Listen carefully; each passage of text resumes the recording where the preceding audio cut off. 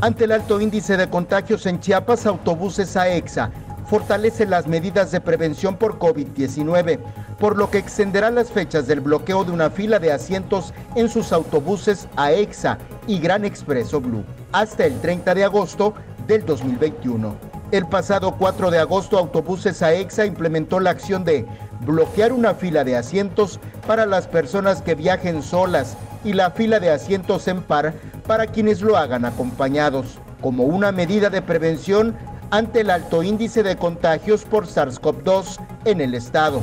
La reducción de la capacidad de ocupación en las unidades obedece a la necesidad de no propagar entre los usuarios de autobuses AEXA el virus, cumpliendo con los protocolos establecidos por las autoridades sanitarias.